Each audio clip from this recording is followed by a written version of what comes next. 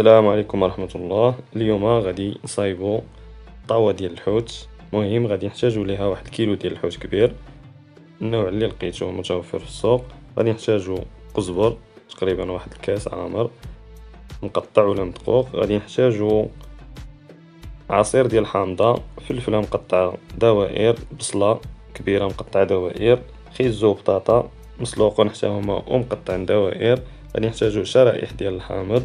بالنسبة للتوابل غادي نحتاجو ملعقة صغيرة ديال السودانية ملعقة صغيرة ديال السكينجبير وملعقة ديال الكمون واحد ثلاثة ريوس تومة مدقوقين شوية الملحة وهاد الفلفلة الحارة كنوضعو القزبر ديالنا في واحد الإناء. نضيفو عليه عصير الحامضة غادي نوضعو التوابل اللي قلنا.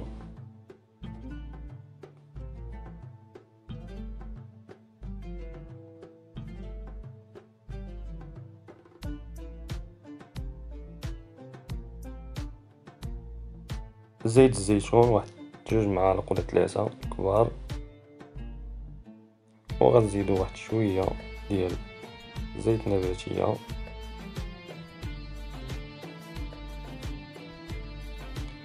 واحد نصف كاس ديال الماء. باش نصايبو الشرمولة ديالنا. خلطوها مزيان.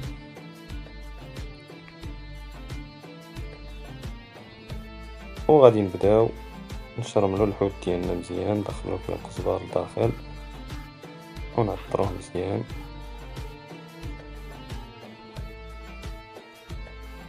بهاد الطريقة اللي كتشوفو.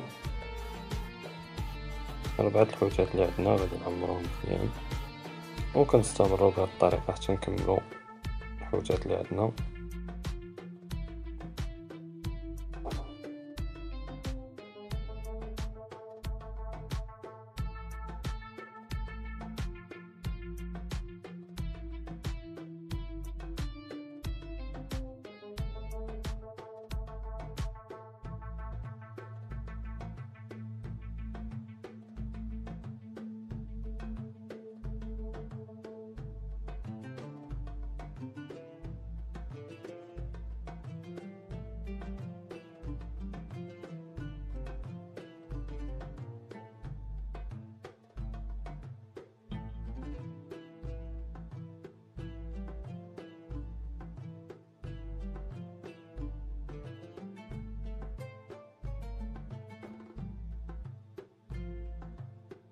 وكنبداو نستفو البصلة ديالنا هي الأولى.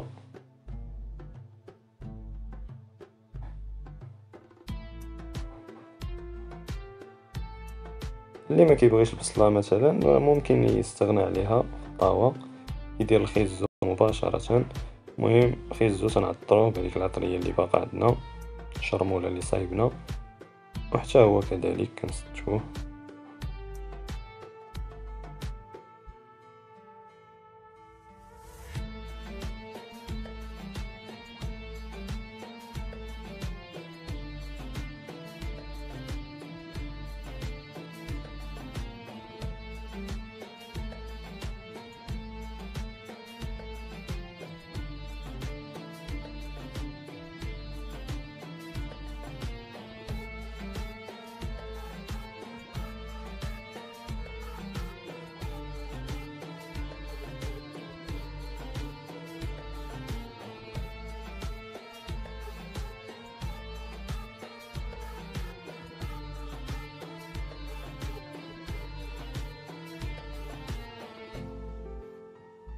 والبطاطا حتى هي غادي نديرو لها نفس الطريقة. غنوضعوها في الشرمولة.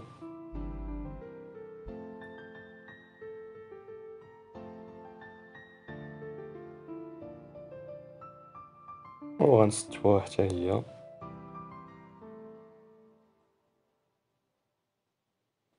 مهم خيزو بطاطا تقريبا طايبين الا درناهمش طايبين ما غاديش يطيبوا لينا مزيان في الفران يبقاو قاصحين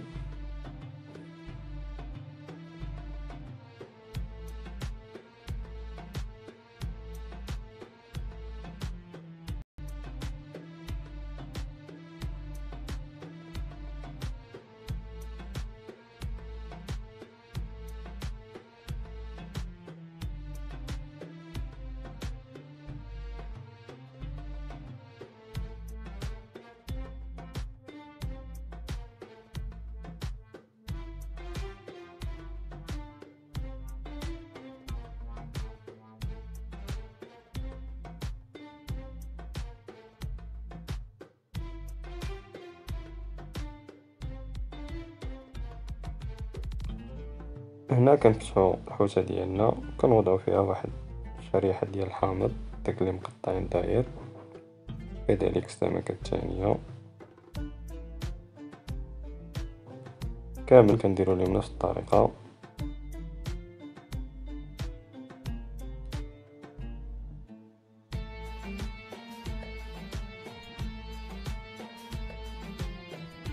وكنستفو الفلفلة اللي عندنا.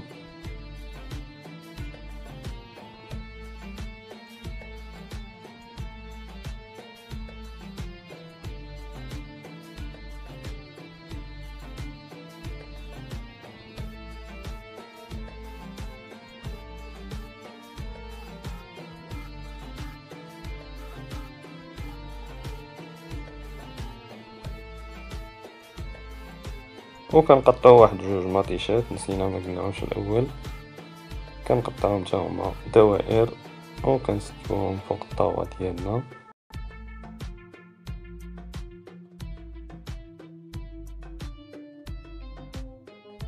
كيبقاو لينا الشرائح الحامض حتى هما كنزينو بهم.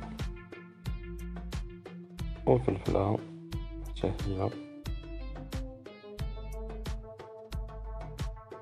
من بعد كنخويو ديك الشرمولة اللي باقا لينا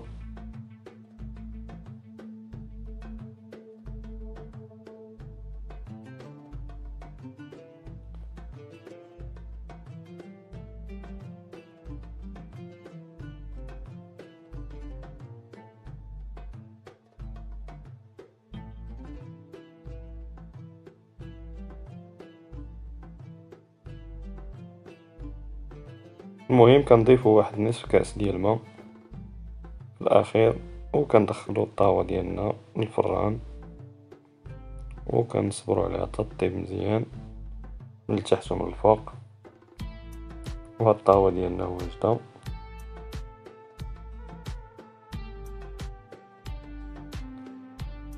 الطاوة ديالنا من بعد ما خرجناها من الفران هي واجدة. بالصحة والراحة. كنتمنى تجربوها إن شاء الله. وكنشكركم دائما على المتابعة. واللي عجبو الفيديو يبارطاجيه مع الأصدقاء ديالو. تحياتي لكم.